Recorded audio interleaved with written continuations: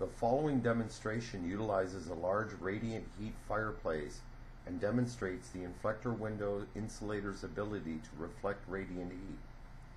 We utilized a laser temperature gun to measure the temperature of the heat coming from a radiant heat fireplace. On three separate measurements, the temperature ranged between 204 degrees Fahrenheit to 214 degrees Fahrenheit. When we placed the In'Flector panel into the laser path of the temperature gun on three separate occasions, and as indicated by the temperature readings, the temperature drop ranged between 58 to 63 degrees Fahrenheit. The bottom line is, the In'Flector window insulator reflected over 70% of the radiant heat back in the direction it was coming from.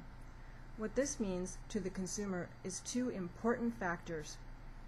In the winter, the In'Flector will reflect the heat that normally escapes through your windows back into your building, reducing your heating requirements. In the summer, the In'Flector will reflect the heat back out through the windows of your building, reducing your cooling requirements.